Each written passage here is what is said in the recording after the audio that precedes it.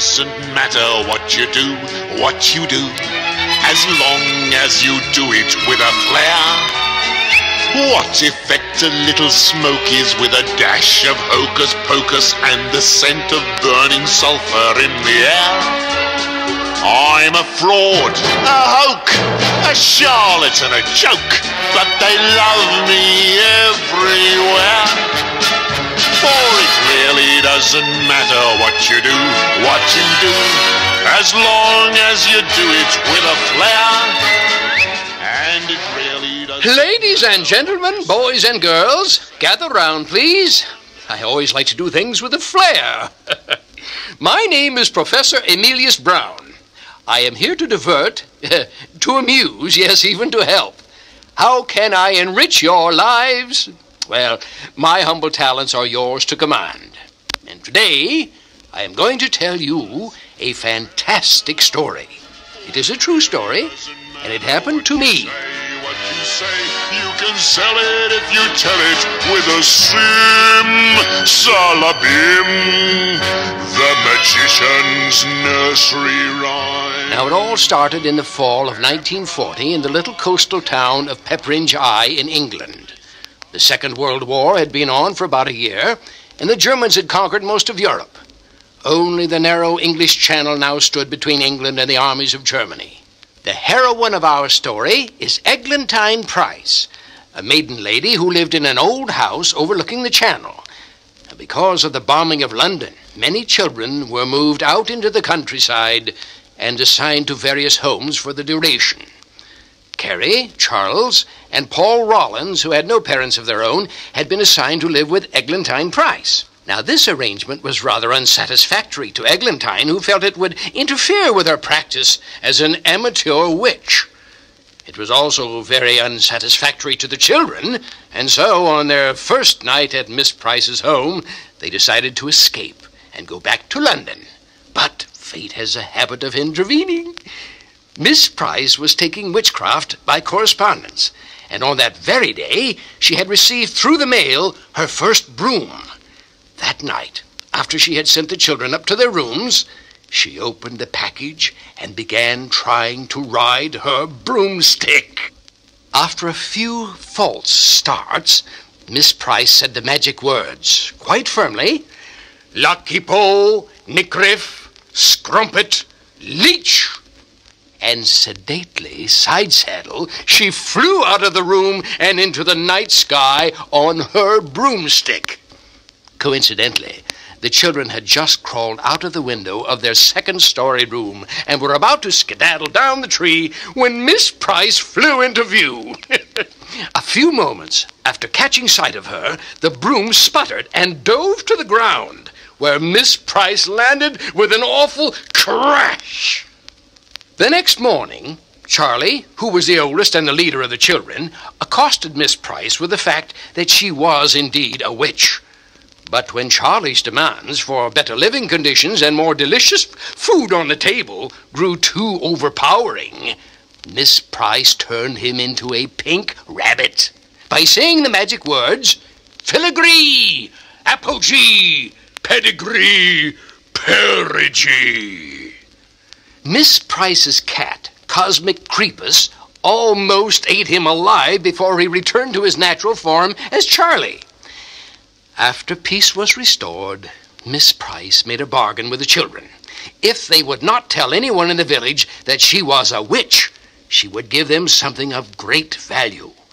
It was a magic bed knob. And at first, the children didn't think much of the present. But after Miss Price said the magic words over it, Hellebore, Henbane, Aconite, Glowworm Fire, and Firefly Light, it began to glow dimly. Miss Price told them by turning the bed knob on the bed, the bed would take them any place they wanted to go. The last and most important lesson in the correspondence school of witchcraft had not yet arrived. Instead, Miss Price received a card from me stating that the correspondence school was being closed. Well, this didn't suit Miss Price one bit, I'll tell you. She needed that last lesson because she felt it might help England in the war effort against the Germans. And so she determined to go to London and seek me out. Everybody jumped on the bed except Charlie, who didn't believe that the bed really could fly. Miss Price told him that he was in the age of non believing.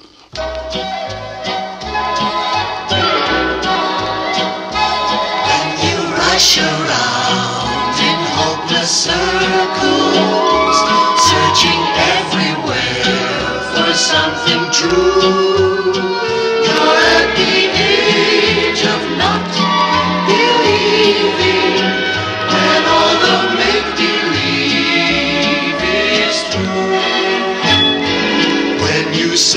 Set aside your childhood heroes.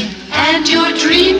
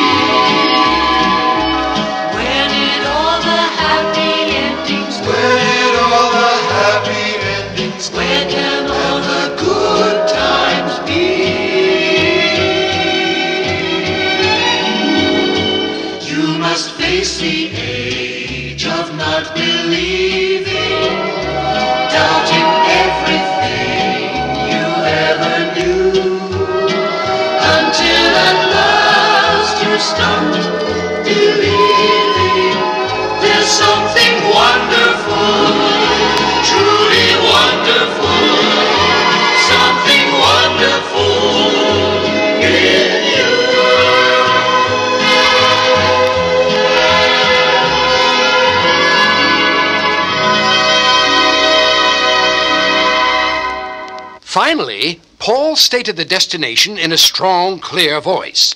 Take us to Professor Emilius Brown, Headmaster, Correspondence College of Witchcraft, London. Well, now, Charlie, now a believer, scrambled on board just as the bed took off with a for foggy London town. They were looking for me, of course, and I think it's about time that I got into the story in person. I was employed that day as a street vendor peddling simple magic tricks and horns and whistles. Finally, Miss Price found me too and demanded to have the last lesson. And when I refused her because I didn't have it myself, she shouted, Filigree, apogee, pedigree, perigee, and turned me into a white rabbit. I was really astonished, and when I finally regained my own self and found that Miss Price had learned the spell from my own course, I was really astounded. I had just put some nonsense words that I had found in an old book into the course, but Miss Price apparently had powers far beyond mine, for she had really turned me into a rabbit. she now insisted that I produce the last lesson the one which I had promised on substitutionary locomotion. Well, when she learned that all of my magic spells had come from words found in an old book, she insisted on seeing that book. Well, I told her that my home was many miles away on the other side of London, but Miss Price said that we could be there in a trice. And she and the children jumped on the big four poster bed that was standing right in the middle of the street, and she insisted that I get on the bed also. I was very suspicious of this tomfoolery, and I asked Miss Price if we were going to fly. She replied rather crossly, Really, Mr. Brown, let us not be obtuse, shall we? It is your own traveling spell, the one you have with the course as a bonus. I couldn't believe my own ears. My traveling spell, I said. Th- that works as well? Miss Price was still cross. Just the address, please. And so I replied, 8 Winchcliffe Road. And with a the bed became airborne. After a wild ride over the rooftops of London, we were at my home in a trice as promised. And Miss Price and the children were surprised by my home, which is a fine townhouse, which had been abandoned because there was an unexploded bomb in the front yard. While the children were exploring the house, I decided the time had come for a heart to heart talk with this wonder working woman. Combining her magic with my know how in show business would be Bafo box office, as they say in the trade, and I could see visions of millions. Let us strike a bargain. You possess a gift, and I can speak the jargon that will give your gift the needed lift. You possess the know how, and I command the show how. Oh, how successful you could be with me. Eglantine, Eglantine, oh, how you'll shine. Your lot and my lot have got to combine. Eglantine, Eglantine, hark to the stars. Destiny calls us, the future is ours. As the shine sells the boot and the blossoms the fruit, all you need to succeed in your plan is the proper ally upon whom to rely, and I'm your man. For I have an acumen that's nigh superhuman. I sell things that nobody can. So I humbly suggest you accept my behest. I'm your man. Eglantine, Eglantine, oh how you'll shine. Your lot and my lot got to combine. Eglantine, Eglantine, heart to the stars. Destiny calls us, the future is ours. With my expert pantomiming, the proper taste and timing, I'll introduce you in a manner grand. I'll whet their appetite for you. I'll set the scene so right for you. We'll have the beggars eating out of your hand. As the words sell the tune and the moon beams the moon, all you need to succeed in your plan is a champion rare with the flourish and flair, and I'm your Eglantine, Eglantine, oh how you'll shine. Your lot and my lot have got to combine. Eglantine, Eglantine, heart to the stars. Destiny calls us, the future is ours. Meanwhile, the children had discovered a nursery with some wonderful old toys. Paul found a crumbled linen children's book called The Lost Isle of Naboombu. Charlie didn't think there could be such a place, but Paul was sure of it. Oh, look! There's pictures. That proves it. The pictures showed a number of jungle beasts wearing clothes amidst beautiful tropical surroundings.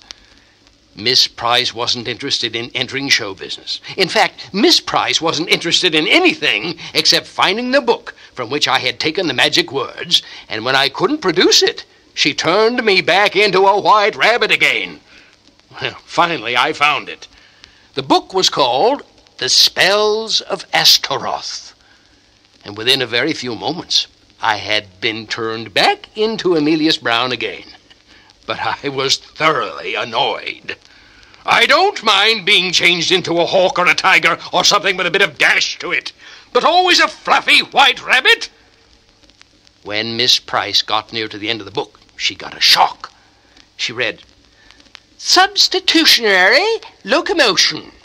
A rare and ancient art of causing objects to take a, on a life force of their own. The spell which creates this force is five mystic words. These words are. But the page was torn and the words were missing. I explained that was why I had closed down the college. Where are the remaining pages? she asked. Well, haven't the foggiest, I replied. Where did you get the book? she asked. Well, I bought it uh, from a bloke off a pushcart, I said. A bit of an unpleasantness. He claimed that I'd, I'd given him a dud coin, and there was a scuffle over the manuscript. It tore, and, uh, well, I got one part, and he got the other. Where might one find the other portion of the book? asked Miss Price sternly. And the only place that I could possibly suggest that it might be found is Portobello Road.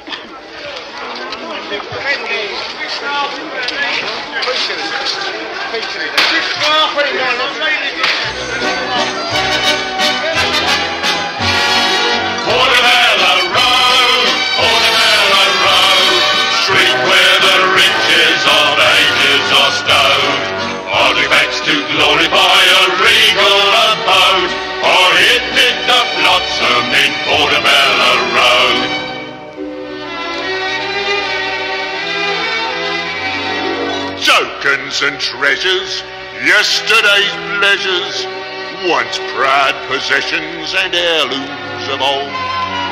Dented and tarnished, scarred and unvarnished, in old Portobello they're bought and they're sold. Portobello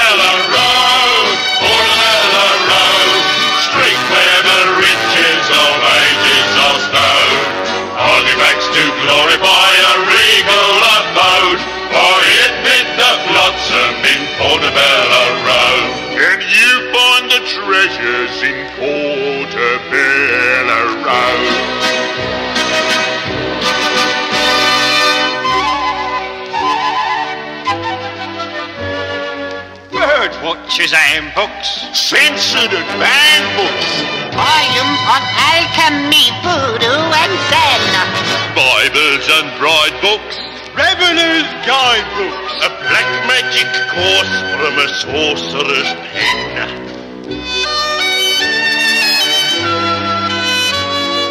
Silver pill boxes. Taxiderm foxes. The solid gold toothpick of Henry VIII.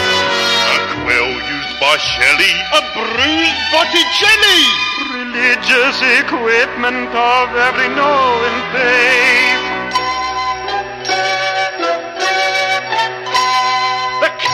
Of the Mahja. The rings of Ardajah. A filigreed samovar owned by the Tsars. An ancient mosaic. A scroll in Hebraic. The sniffer that clipped old King George's cigars. Portobello Road, Portobello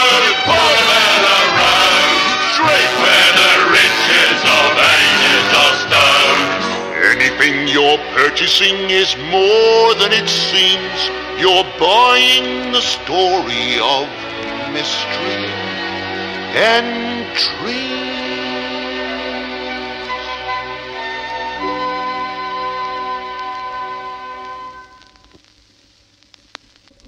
Once it's closing time on Portobello Road, the barrows and vendors disappear as if by magic.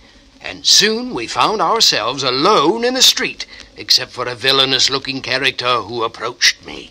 And pressing a long switchblade knife into my side, he said, You ought to get over to the bookman straight away. He wants to see all of you. Well, under the circumstances, I decided we had better go. The kids and Miss Price pushed the bed along with us, and right on down into the store of the bookman we went. Well, we soon discovered that the bookman had the missing pages of the magic book. He read from one of them Substitutionary locomotion, the lost miracle of the ancients, and so on and so forth. Ah, oh yes, here we are. The spell which creates this force is five mystic words. These words are engraved on the diamond star that was always worn by the sorcerer Astaroth. Well, it turns out that the sorcerer Astaroth kept animals in cages and searched for spells which would make them more like humans. Legend is that finally the animals rebelled at the experiment, killed Astaroth, and stole many of his powers, including the star with the spell upon it. The animals found a ship and sailed away. Many, many years later, a shipwrecked man was found, half mad with thirst and exposure to the sun. And before he died, he swore that he had seen an island ruled by animals. The bookman told us that he regretted to say that there was no such island. The Isle of Naboombu does not exist. Paul spoke up at this. There is too such a place. I got my own book about it. Now, the bookman tried to take the book away from Paul, and finally Miss Price decided it was time to go home. She told us all to jump on the bed, and Paul said loudly, Bed, take us to Naboombu! And with a we were gone. There was a slight miscalculation in our flight, and instead of landing on the island itself, we landed in the lagoon, and the bed slowly sank to the sand on the bottom. Oh, it was beautiful there, with seaweed and fish of all colors and kinds.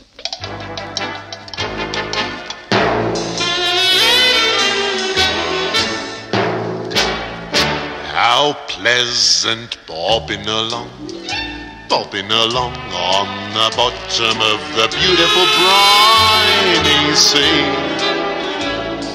What a chance to get a better peep at the plants and creatures of the deep. We glide far below the rolling tide serene through the bubbly blue and green. It's lovely bobbing along, bobbing along on the bottom of the beautiful briny sea. What if the octopus, the flounder, and the cod to think we're rather odd. It's fun to promenade, bobbing along, singing a song on the bottom of the beautiful briny sea.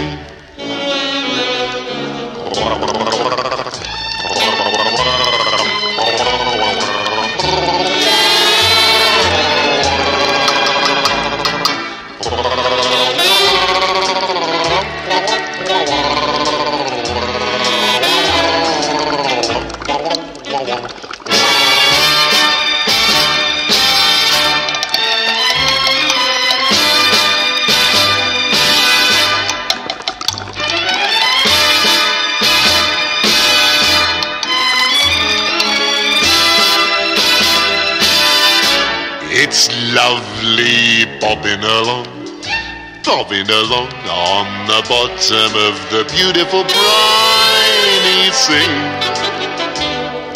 What if the oyster and the lobster and the sole think we're rather droll? It's good to take a stroll, bobbing along, singing a song on the bottom of the beautiful, briny, shimmery, shiny, beautiful, briny sea. Have a banana.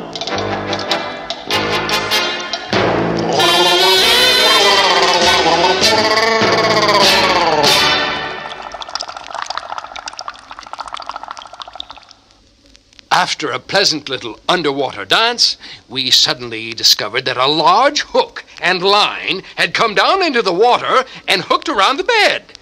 The bed and all of us on board were now being pulled up through the water. And when we reached the surface, we realized that we had been caught by an enormous bear. When he saw us, he, he was very unhappy. People, people, what scurvy luck! He said. I think I shall throw them back in.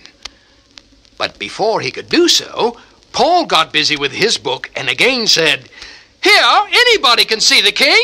That's the law. The bear didn't think this was such a good idea and replied that if we knew what was good for us, we'd get ourselves thrown back into the water. But Miss Price was insistent. We must see the king on an urgent personal matter, she said. Lead the way, please. When we came near to the king's tent, we learned that he was in a foul mood. Roar after roar came up from his tent. The king's secretary bird stopped us as we came up to the entrance of the tent. The king is angry because the royal football match cannot take place today, and his majesty has so set his heart on it. Bear, throw these creatures back into the sea. Well, it was time for me to step in. Now, just a moment. I can help, I said. I know football. I was captain of the Hotspurs for two years, three seasons with the United before that. Well, with this gladsome news, the secretary bird ushered me into the presence of the king. It was really a small matter that had postponed the game. There was no one to be the referee of the match. I volunteered, and so I was elected. The king was delighted, and we immediately went to the stadium. All of us noticed, however, that around the king's neck was the Star of Astaroth. Well, the teams lined up. The hippo was the captain of the Blues, whose side included a kangaroo, a cheetah, an ostrich, and an elephant. The king's team was called the Dirty Yellows and include a rhino, a crocodile, a hyena, a warthog, and a gorilla. The king shouted, Let the game begin! It was the wildest football match ever. And even though, as referee, I should have been a privileged character, I was flattened to the turf on several occasions and nearly killed before the game was over. Luckily for all of us, the King's team won. As I congratulated the King and embraced him warmly, I pulled a trick called the Gypsy Switch, removing the Star of Astaroth from the King's neck and placing my referee whistle there in place of it. He was none the wiser and didn't discover the loss until we reached the bed. And then he came roaring after us.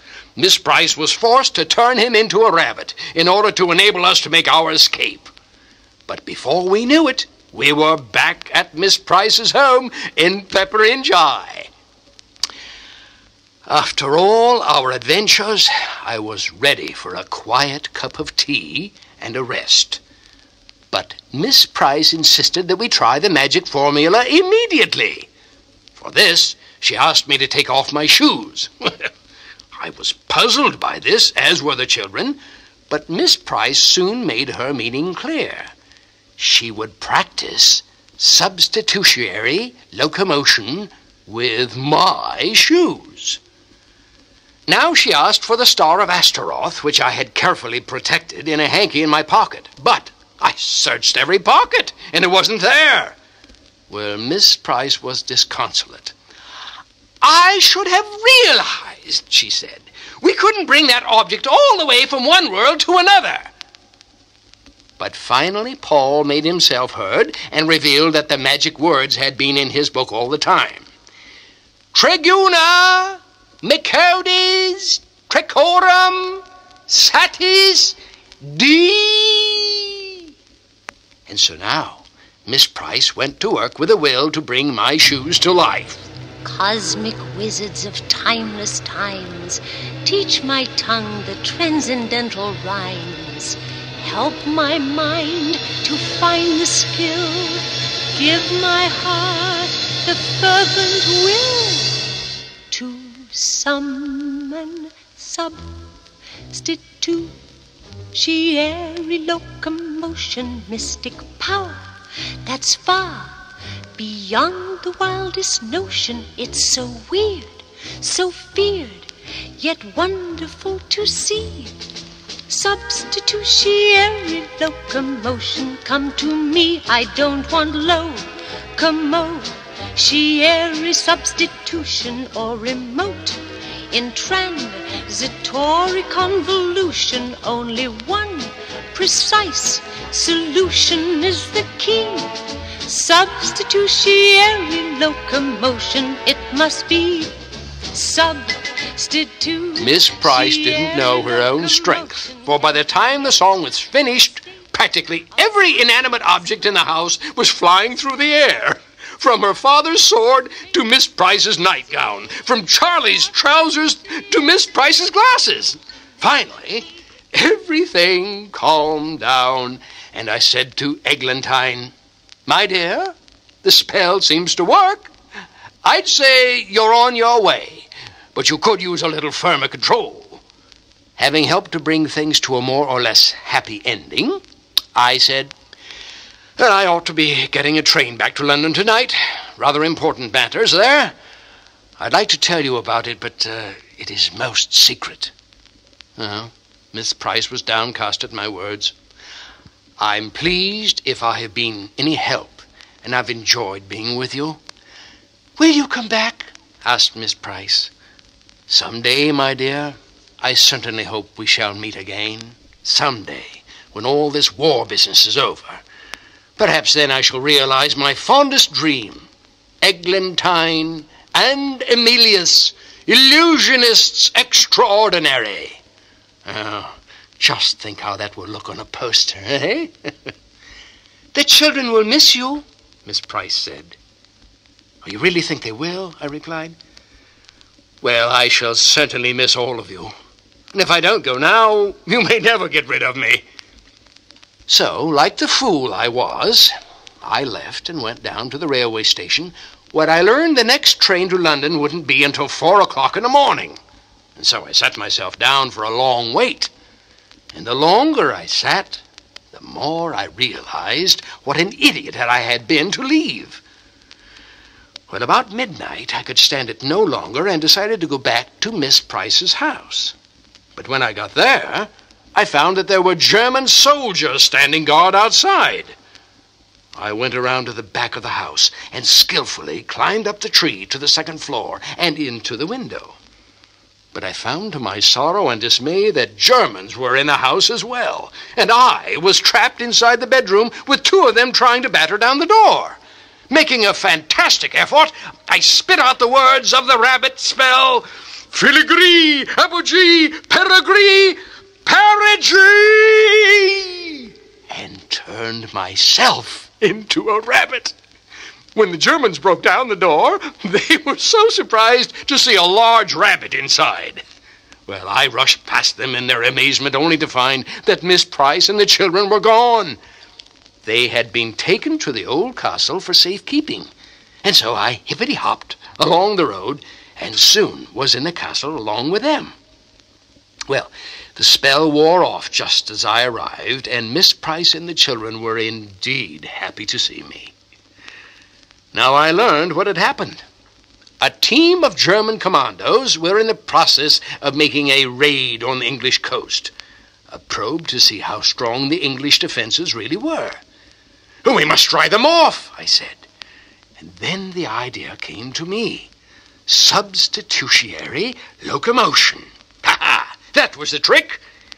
And the old castle served part time as a museum, and it was filled with all kinds of ancient banners and flags and things, armor for horses and men, spears and swords and halberds. So Miss Price set to work. Cosmic wizards of timeless times, teach my tongue the transcendental rhymes.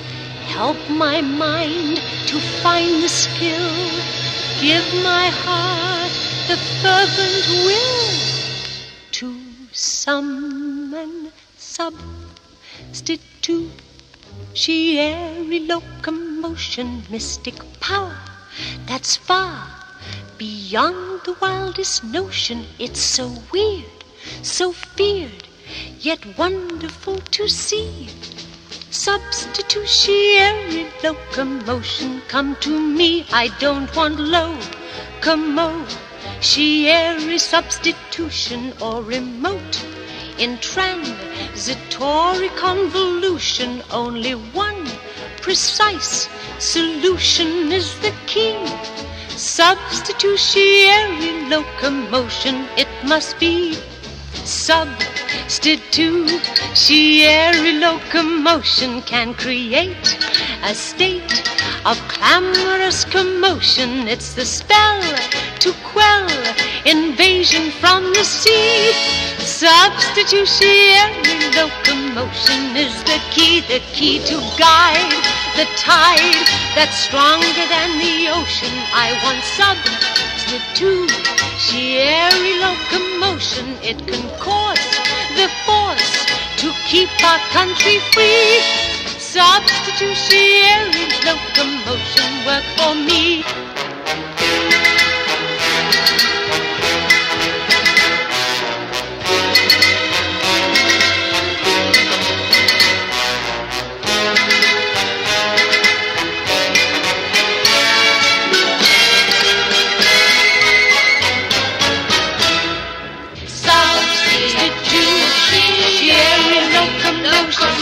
I want substitutionary locomotion. Substitutionary is the key for substitutionary locomotion is the key.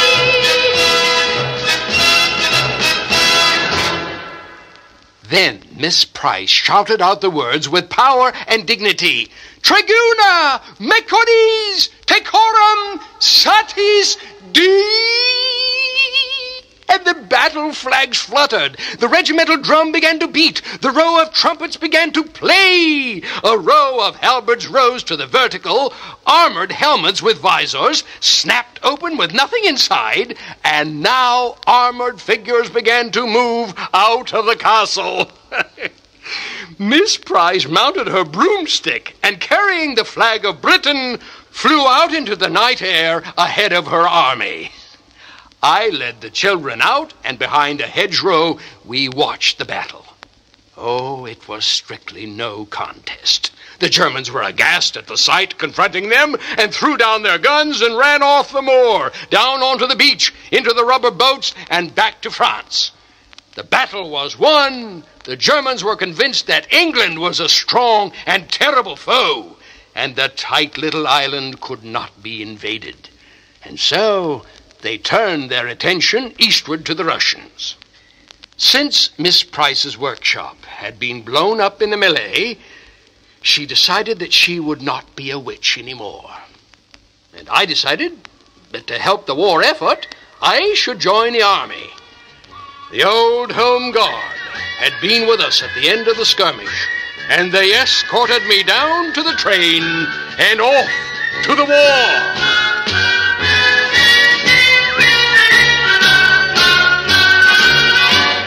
sailing on England, oh what a shame! Someone is off